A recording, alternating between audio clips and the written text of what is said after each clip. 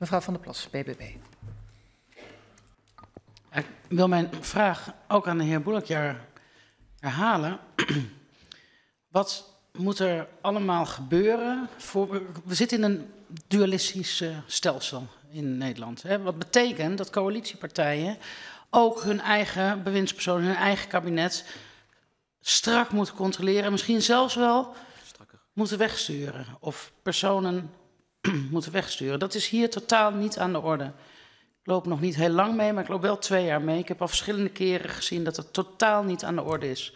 Iedereen komt overal mee weg. Alles wordt met de mantel de liefde bedekt. En er wordt steeds gezegd: Nou, voor de volgende keer, maar dan echt.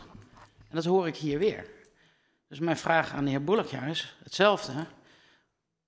Hoe ver kan een kabinet of bewindspersoon of een minister-president gaan voordat D66 in dit geval zegt van en tot hier en niet verder en nu ja. is het genoeg. Heer Boelekjaar. Ja, de frustratie van mevrouw Van der Plas is, is, is terecht. Uh, die heb ik ook. Die hebben de mensen in Groningen volgens mij ook. En als we hier een kabinet zouden zien dat geen enkele aanzet zou doen tot verbetering van de mensen in Groningen. Als ik daar geen enkele vertrouwen in zou hebben, was mijn oordeel heel simpel. Maar D66 heeft in 2021, ik herhaal, herhaal nog een keer voorzitter, onderhandeld, geknokt voor die radicale cultuuromslag in Groningen. Zijn we er al? Nog lang niet hou ik het kabinet daarop scherp, 100%.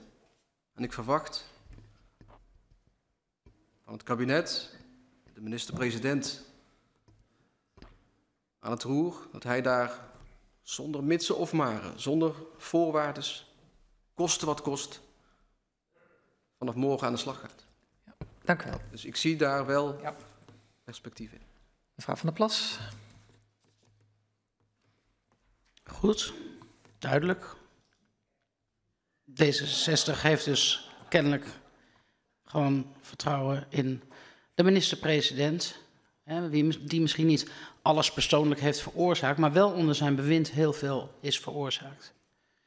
Maar denkt de heer Boelakjaar dat het misschien, want ik hoor hem heel vaak de mensen in Groningen zeggen, maar denkt de heer Boelakjaar dat het misschien voor de mensen in Groningen wel helend zou kunnen werken als in dit geval de minister-president, onder wiens leiding dit allemaal is gebeurd, de minister-president die hier van heel veel dingen heeft afgeweten, desnoods misschien zelf wel zou zeggen. Ik stap op en ik neem verantwoordelijkheid. Zou dat helend kunnen werken voor de mensen in Groningen? De heer Boulakjer. Ja, ik, ik, ik, ik, kan dat niet ontkennen natuurlijk. Uh, nog bevestigen overigens. Wat ik wel uh, heb gedaan, voorzitter, in mijn uh, tijd als uh, Kamerlid. Ik ben heel veel in Groningen geweest. En ik zeg dat niet om hier te pochen, maar ik wil mensen in de ogen aankijken. Ik wil zien in de praktijk wat het mensen met, met, met mensen doet. Dat stevige gesprek, dat emotionele gesprek ook aan die keukentafel. Ik ben bij jeugdorganisaties geweest, bij, bij sociale organisaties, maatschappelijke organisaties geweest. En wat ik vooral hoor en terugkijk, terugkrijgen is, ga alstublieft, ga alstublieft aan de slag. Met oplossingen. Dank u wel. Oplossingen en oplossingen. Dank u wel, meneer Boulakjar. Ik stel voor dat we even vijf minuten schorsen. Uh, en daarna gaan we verder met de heer Van Wijngaarden van de VVD. Schorsvergadering voor vijf minuten.